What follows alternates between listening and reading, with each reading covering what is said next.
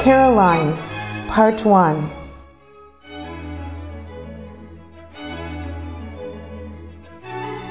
All that is good starts small.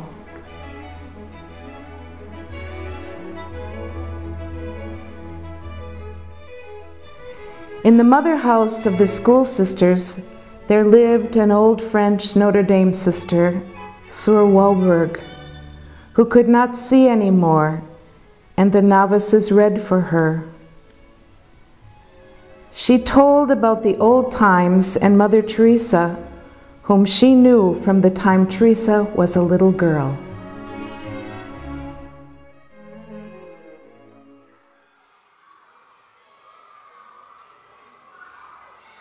If I start speaking about Mother Teresa, I have to start with how I got to Stadtamhof in spite of being French.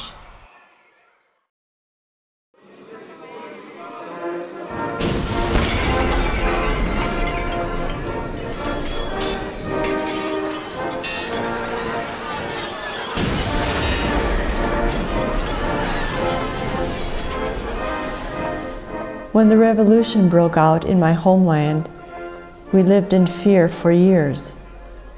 Many friars and women religious were killed.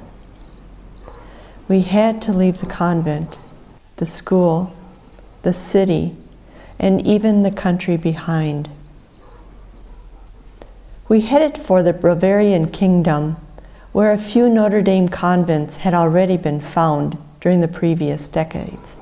On our way, we were praying to our founders, Father Peter Fourier and Mother Alix Le Clerc, to lead and save us from all evil. We often lived in privation, however, we never needed to spend the night without a shelter, because so, no matter where we were wandering, the French or German people were sympathetic to us.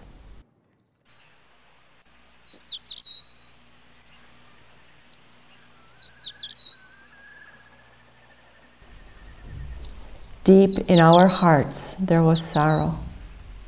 Yet we hoped that if God let us endure hardships like that, we might have a plan for us in the land of Bavaria. This hope kept our spirits up.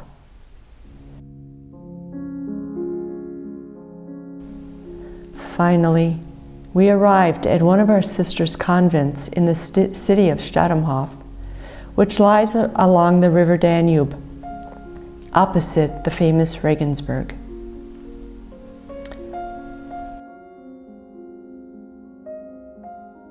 I cured my homesickness with work. Prayer, the community, the nice environment, the kindness of school children consoled me. Stadtamhof became my home, and I held on to it. I could find my peace.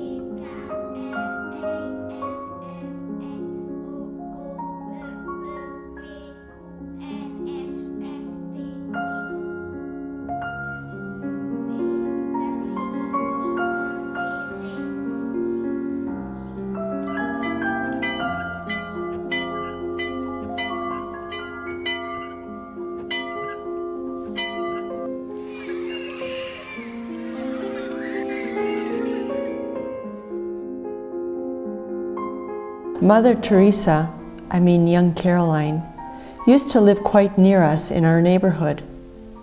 Her mother Frances taught her from a very young age that she should look after the poor. They baked cakes, and together, with the apples picked in the garden, they took them to the poor patients of St. Catherine's Hospital.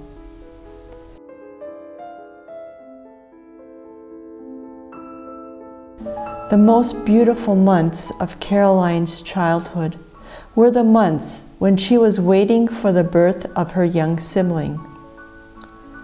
She longed for a younger brother. She even had dreams about him. Her fantasy was completely taken up with the future. And indeed, the sibling arrived. It was a boy, Ignatius Gerhardinger. The young sister never let him alone. She experienced the joy of motherhood together with their mom.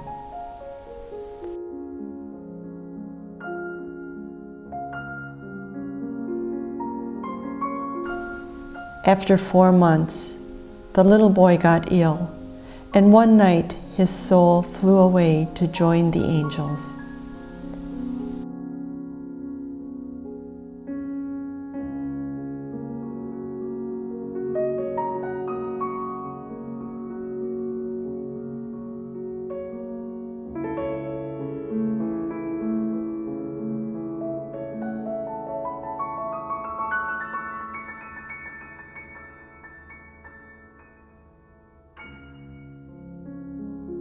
Caroline was broken. First, she got ill and could not get up for a week. And when she was better, she became quite serious and quite introverted.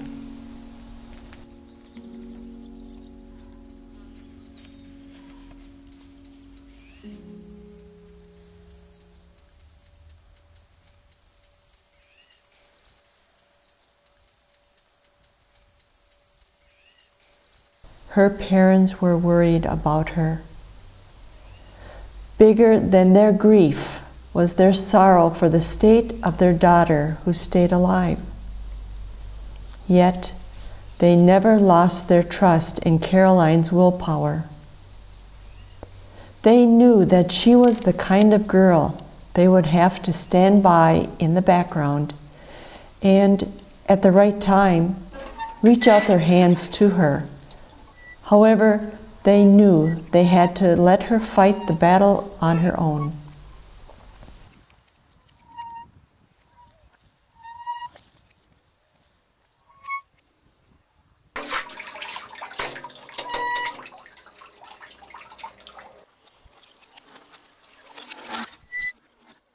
They knew that in Caroline's heart, the love for life was so big that the light must win over darkness in her soul.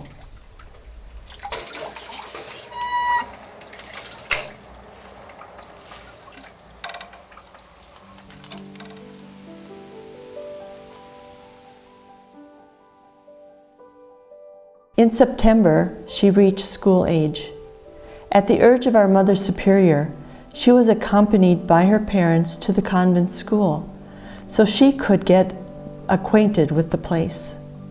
On this very day, Caroline, the one with thirst for knowledge, the one who was able to be happy about everything, came to life again.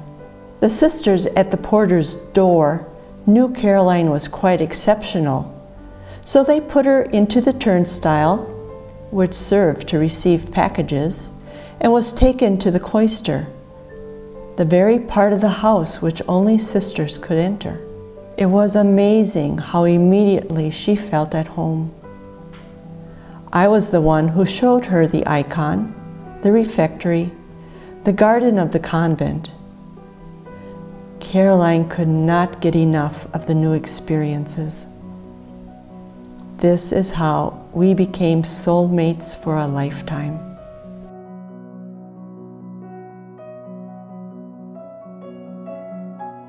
While we were praying together at Our Lady's statue in the garden, I could see that at her age, she had a very strong relationship with God. It turned out that she and her mother got up at daybreak every day and started the day with prayer. They prayed the Lord's Prayer 40 times, each with a different intention. During the day, while passing the church, they always went inside, even if it was for a few minutes. She did this even without her mother. Her classmates were wondering why she goes to church when there is no liturgy. Caroline had a very close relationship with her father, too. Mr. Willibald Gerhardinger's place of work was the Danube River. He ran a shipping enterprise and spent days on the bank, where the shipments left and arrived. On other occasions, he sailed away himself and steered the boat on shorter or longer trips. When returning home, he could be sure that his daughter would run to welcome him home with passionate love. Caroline never missed an occasion to be the first to listen to her father's travel reports.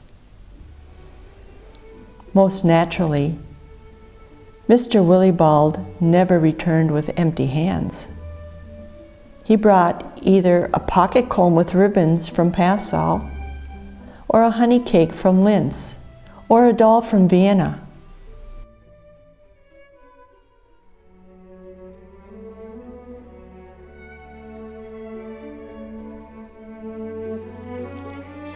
Caroline made friends with a little girl at school.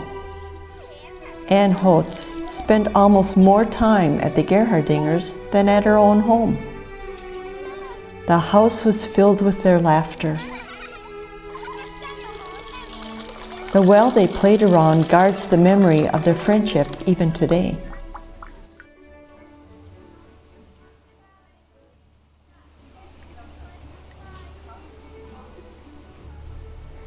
Caroline was a gifted, smart, and charming little girl, more mature than her companions, and she showed that during her education. At the school, we moved her two grades of where she was. She was also permitted to receive her First Communion earlier. The sacred event took place in our chapel. It was there that Caroline asked me to become her soul mother. We were bound by numerous beautiful and honest discussions. Father Michael Wittmann, the parish priest, was her confessor.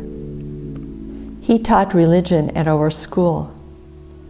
I got to know him as a wonderful teacher, outstanding priest and scholar who never forgot the fate of the children, especially that of the poor.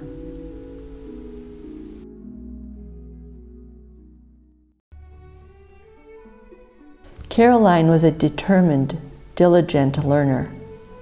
She dreamed about working in her father's shipping enterprise and that she would, of course, travel a lot. She was happy spending time with her mother or father while they were receiving businessmen.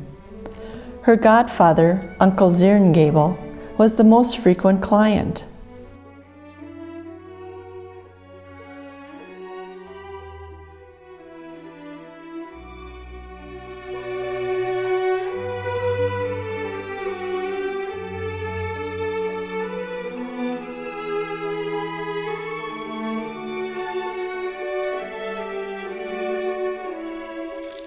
Though she and Anna Holtz were sometimes still snapping each other out of nostalgia, but it was not the games anymore that kept them together, but the long walks along the Danube bank when they touched upon countless common topics.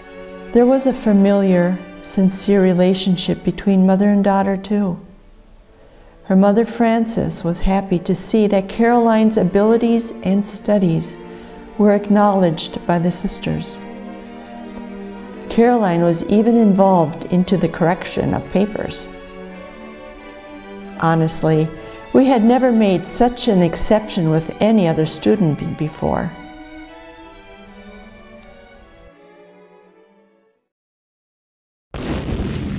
In the spring of 1809, Stockholm and Regensburg turned into a theater of war. Napoleon, after he had defeated the Austrian army, invaded both cities with fire missiles one night. This is how he wanted to prevent the fleeing, beaten troops to move ahead. Locked into their homes, the whole population was terrified and praying.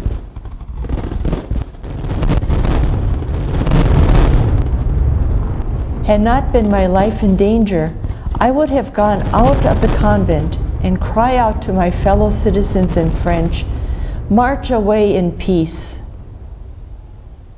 Huddled together, the Gerhardinger family prayed the Hail Mary, one after the other. The father went to the loft to see the crowd better. His daughter was brave enough to sneak after him. By the light of the burning houses, they could see well how the fleeing Austrians were hurrying over the bridge, how the houses on fire were collapsing.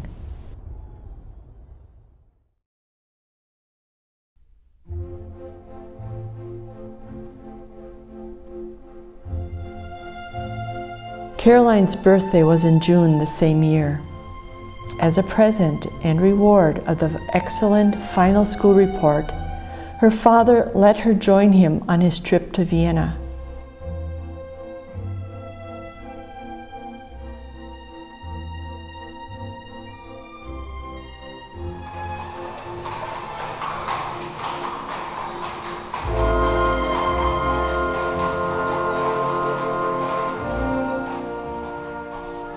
This journey opened up the world for her, and from that time on, the desire awoke to accompany him on all his trips.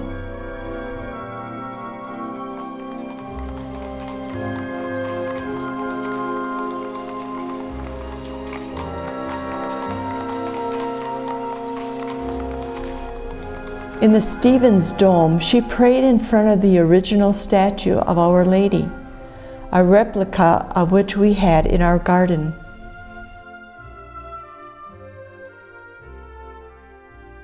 They both arrived home exhausted. There had been some complication on the way home. They were getting near a whirlpool in the river. The passengers began to panic. While the father was balancing the raft, Caroline kept on calming them. Trust my father, he will save you.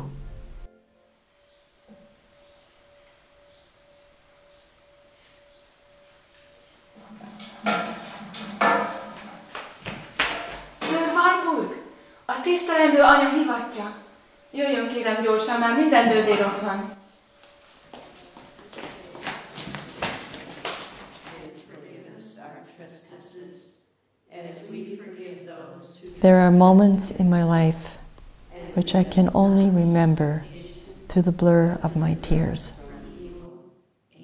Sisters, I let you know with a very heavy heart that our convent and school will be dissolved. I applied for the dissolution myself. Though this may strike you as cruel, but what we were fleeing from and left behind in our homeland has caught up to us here. The dangerous ideas suppress life in the convent here too. We did our best with the help of God to let our activities bless Stadtamhof and its neighborhood. And we were well appreciated by our students, the parents, and the whole city. Thanks to their affection, we were given some delay, and we could avoid being dissolved so far, although all the nearby convents are empty. But now, Gracious God, save us from having to flee again. I kept on repeating, don't let it be. Gracious God, please save us from having to flee again. I received the royal answer to my request today, and within four weeks, we have to leave the house. The furniture will be taken. Everyone needs to start a new life on her own. But sisters, trust Almighty God, who was in Egypt with his people, who was in Babylon with his people. He will not forget us either. We who have been rendered homeless in a foreign land, where we are all rootless. Let us throw ourselves on the Lord's mercy. Let us ask for help of the patrons of the Order of Notre Dame. Our Lady Virgin Mary, Pray for us. Father Saint Augustine, Pray for us. Father Saint Peter Fourier, Pray for us. Mother Alix Le Clerc, Pray for us. Our Lord, we offer ourselves in the sacred mission of the Order of Notre Dame into your holy intentions. If you want, sometime we can return to our school in Stadtamhof. But if you want us to be smaller, let us hope that once, somewhere, through others, we can start growing bigger again. We accept if you want us to follow the way of St. John the Baptist. The one to follow us is greater than us. For your glory and for the good of girls' education. Amen.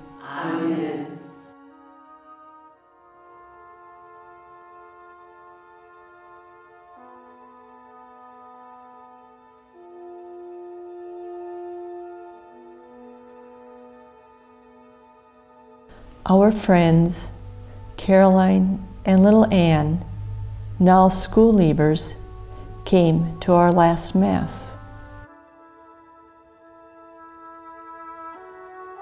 We had with us our novice and alumnus, Anne Prawn. Watching their seriousness, the hope started rising up in me that our work might not have been in vain.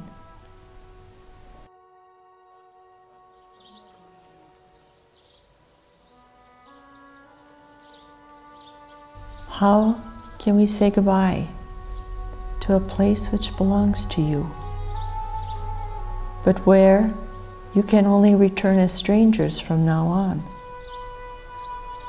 Even though you are familiar with everything, from the cracked stone of the paving, through the knots of the tree trunk, to the sound of doors hinge.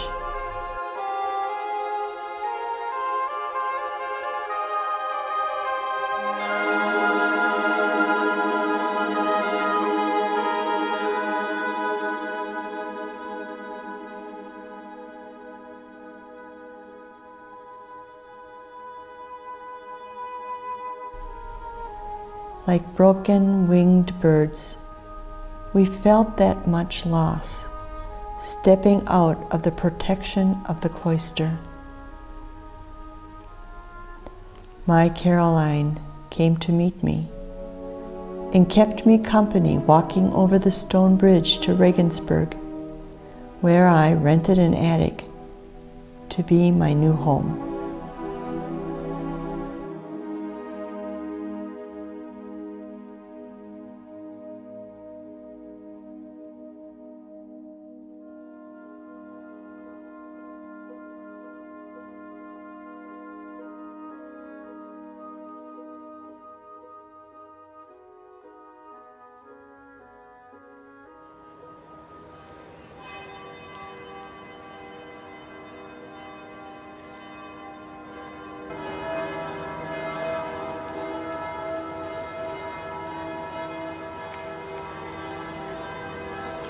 Another hard day came. The equipment of our convent was auctioned off. I could not resist and went there where I let the aching moon hurt more.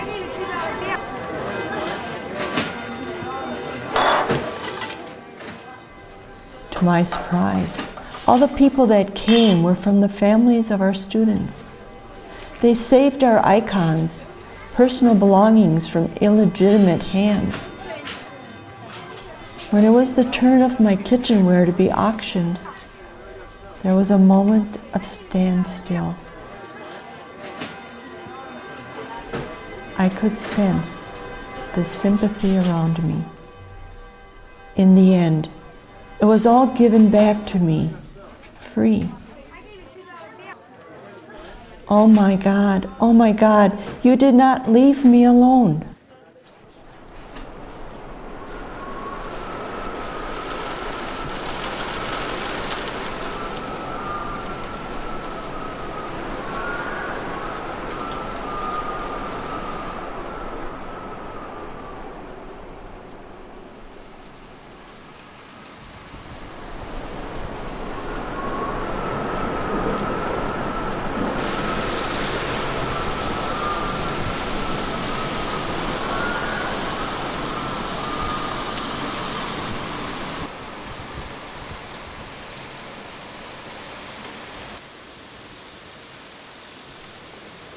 Hail Mary, full of grace, the Lord is with you.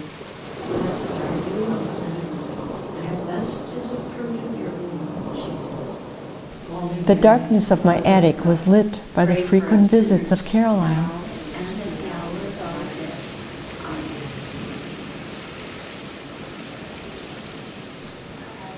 Amen. Hail Mary, full of grace, the Lord is with you.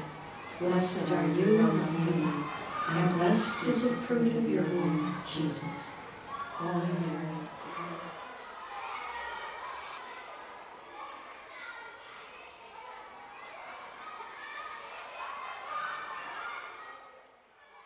Do you know how long I have been considering what the children were facing?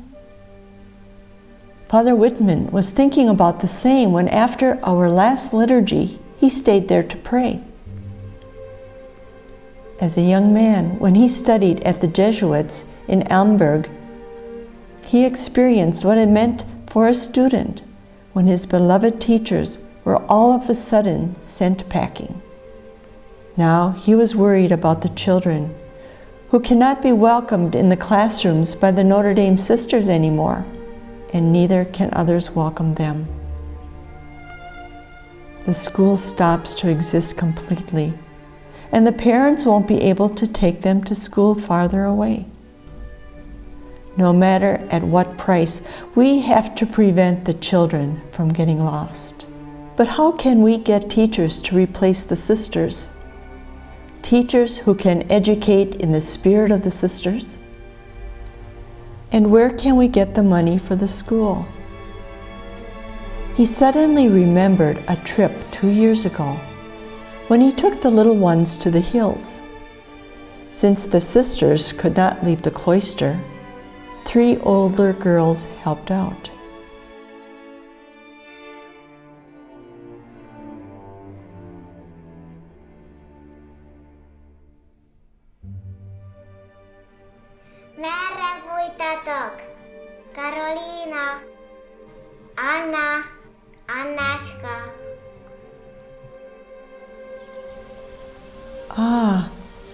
Three girls were there at the last liturgy of the sisters. Caroline Gerhardinger,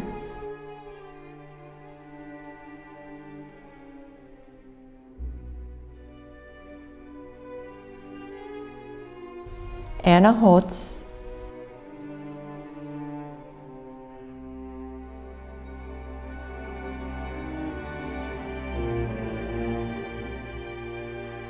and Anna Prawn, who was already a candidate.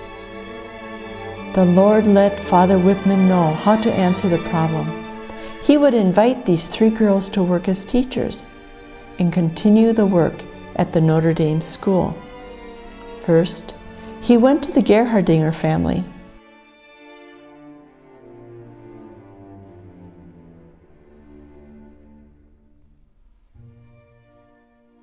Although Caroline would have liked to go on another boat trip with his father, she said yes. Anna Brown lived at her brother's place ever since she had to leave the candidature. She did not really know what to do. Now, she was pleased to say yes. She knew Caroline well, as she had often taken care of Caroline when she was little. Lastly, Father Wittmann called on the Holtz family. When little Anne learned that she might teach at a school together with her friend, she began jumping for joy. Father Wittmann happily gave thanks at St. Mang Church and began to make plans about the life of the new school.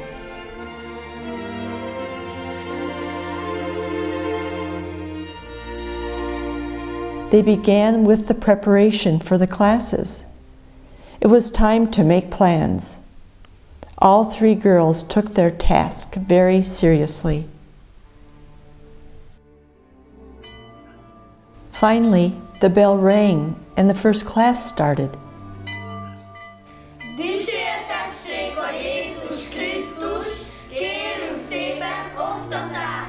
Father Wittmann and his chaplain supported them in every way.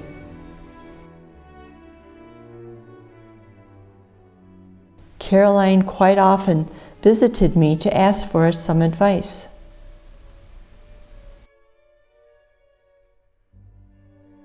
After three years, they were still working with heroism and enthusiasm. Each morning, Caroline left for school well prepared, full of vigor, fresh and pretty.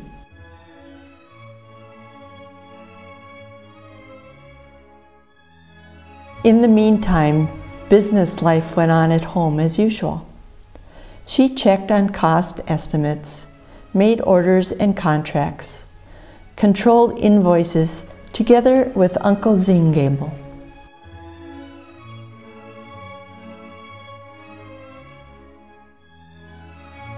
However, it was a prominent day when 15 year old Caroline and the other school teachers successfully conducted their classes in the presence of the state committee and qualified as teachers.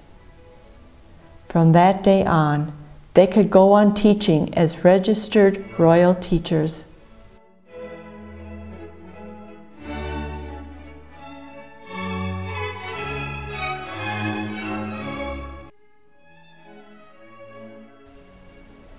Nevertheless, it seemed that all their efforts were in vain. The city commandeered the Notre Dame Convent School to be used as barracks. Disappointed as she was, Caroline was on her way to tell Father Wittmann that she would join her father's business. Two of her little pupils stopped her and asked Caroline to think this through in a smart way. It does not matter if education does not happen at school. As long as the weather is fine, they might as well have classes in the meadow. Caroline thanked both of her fans for the advice. Caroline delayed the time, being postponed her meeting with Father Wittmann. Instead, she entered the silence of the church to pray. End of part one.